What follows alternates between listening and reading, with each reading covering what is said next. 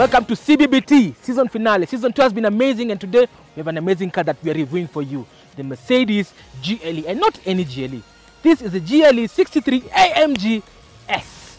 Top of the line, top of the cream on this particular brand. And of course, we're going to give you the lowdown how it looks, how it behaves on the road, and of course, value for money proposition. But let's start. Let's talk about the design. As you can see, this particular design, it looks similar to a brand in Bavaria. I wouldn't mention that name. But you see that sports activity coupe design? It is amazing because it gives this car a sporty look. That's where the market is, and everybody's trying to get a piece of that pie. If you look at this particular design, it's true fashion AMG.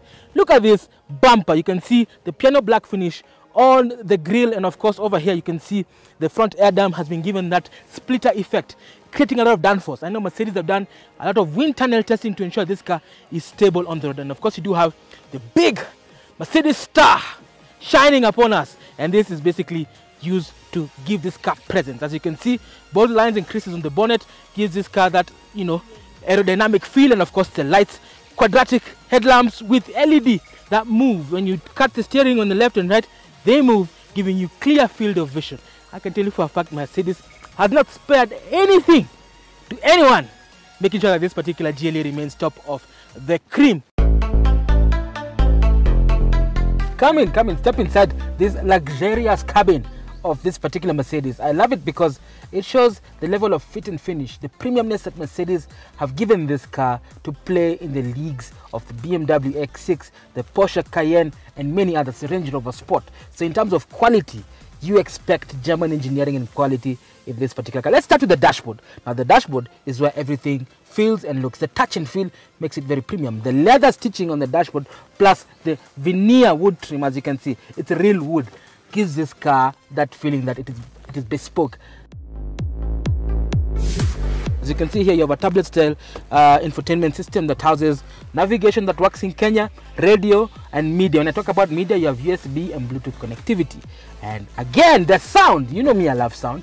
I want to show you something. It has a 16 speaker Harman Kardon sound that sounds like this.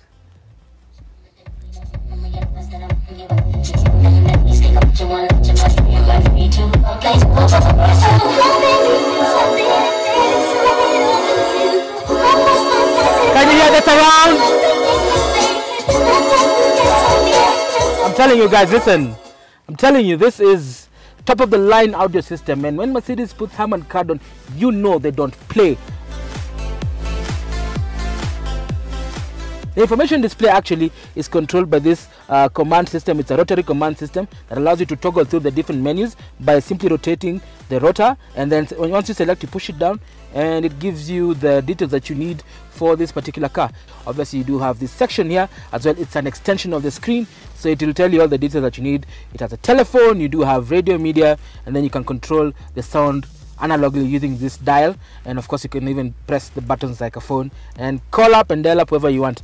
And right below it you do have some buttons. So these buttons allow you to select some certain functions of the cabin. So for example heated seating and cooling is standard in this particular car. You do have start stop for that annoying time when you're in traffic. The vehicle will switch off to save you fuel. And of course you do have park assist which comes as standard in this particular car. And right below it you have climate control. It's dual zone. Actually you can control the different temperature settings. So the passenger can have their own the driver can have their own. And of course the guys at the back as well they do have their own setting at the back. So everybody feels very comfortable during long distances in the mercedes gle 63s amg are comfortable you, ha you have uh, multi-way power adjusted seats that uh, allows you to have memory setting and gives you ability to use three drivers to use the same seat. We don't know how comfortable this car at the back. We're going to ask Murigi to give us a lowdown on the space on the passenger seat and of course at the rear. Okay, so sitting at the back here, it's actually very comfortable. This is indeed a Mercedes. So all of the fabrics that you're touching here are very nice. All this leather, this dark thing at the top here, you still have that open pore wood at the back. Everything you feel and touch here is really very premium. And there's additional space over here with two cup holders. They also have two 12 volt sockets if you want to charge your devices. Let's check into the boot and see what it has in terms of additional productivity. So guys, 577 horsepower. So realistically, if you see this on the road in Kenya, this is what you're going to be seeing, the back over here. But first things first, I'm just going to look at the interior. we do have a power tailgate that reveals a very deep boot, very wide, but not very tall because this coupe body style actually eats into the space at the back here a bit. But there's still a lot of space here available, including a space saver spare tire, which is the most interesting one I've seen so far, and tie down hooks for your stuff, lots of cubby holes in the side, and a 12 volt socket. So let's get this on the road and see what the beast has to offer.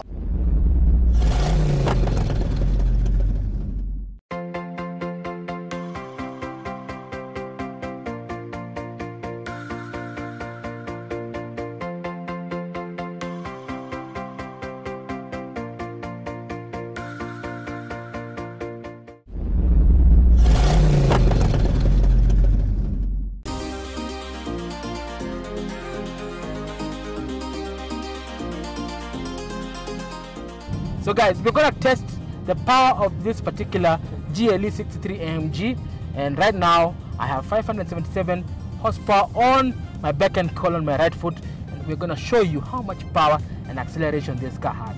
So let's go. Three, two, one. Are you ready?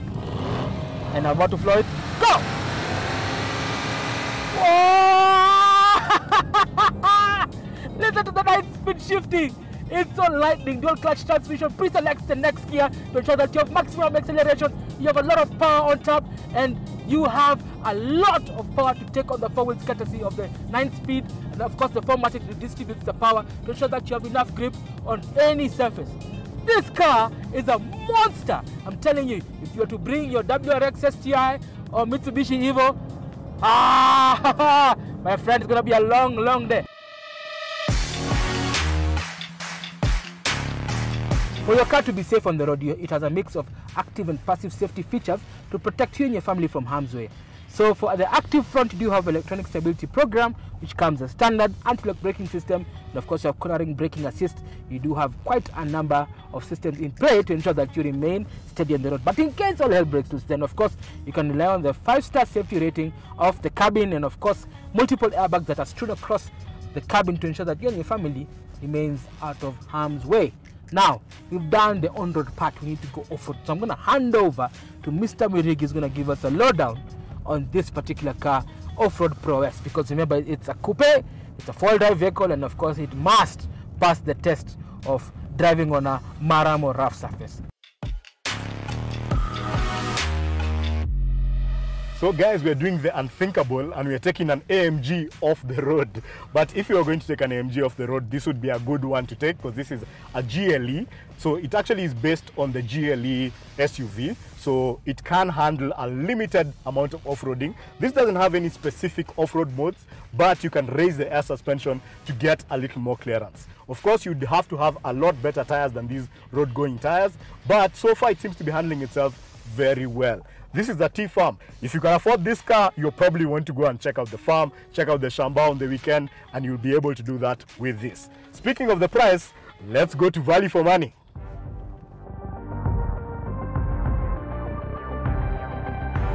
It's been a thrill with the GLE 63 AMG S. And I can tell you for a fact, it's worth every penny. I'm telling you, the 5.5 liter V8 twin turbo. Ha! I'm telling you, there is no feeling in this world that can equate the power delivery on this particular car. But before you even go further, Mr. Murigi, who are the key rivals and how much does it cost? Well, the key rival for this is, of course, the thing that started this all, the BMW X6, but the M variant. And Porsche recently came out with the Porsche Cayenne Turbo Coupe variant as well. Now, in terms of price, this is available for 21 million shillings. And remember, DT Dobie also has an offer. The lower spec GLE 400, which is the lower version of this particular car, goes for 12.5 to 13 million, depending how you haggle. Just a big boy Trev sent you, and of course you'll be able to get the GLE coupe. It has a lot of features that this has, and of course it comes at a pocket-friendly price for those who want to buy.